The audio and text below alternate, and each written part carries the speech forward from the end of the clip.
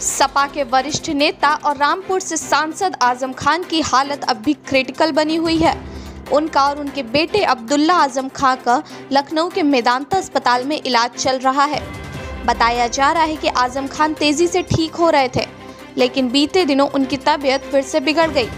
उन्हें आईसीयू में शिफ्ट करना पड़ा, तभी से उनकी हालत गंभीर बनी हुई है। हालाँकि डॉक्टरों का कहना है यह नियंत्रण में है। उधर आज़म के बेटे अब्दुल्ला आज़म की हालत अब स्थिर है।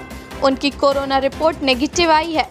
मिली जानकारी के अनुसार सपा सांसद आज़म खां आईसीयू में तीन से पाँच लीटर ऑक्सीजन सपोर्ट पर रखे गए हैं। उनके फेफड़ों में फाइब्रोसिस और कैविटी मिली थी। इस बीच आज़म खां के तेज़ी से ठीक होने की खबर आई थी। उन्हें आईसीयू से जनरल वार्ड में शिफ्ट किया गया था, लेकिन उनकी हालत फिर से बिगड़ गई। उन्हें दोबारा आईसीयू में शिफ्ट करना पड़ा।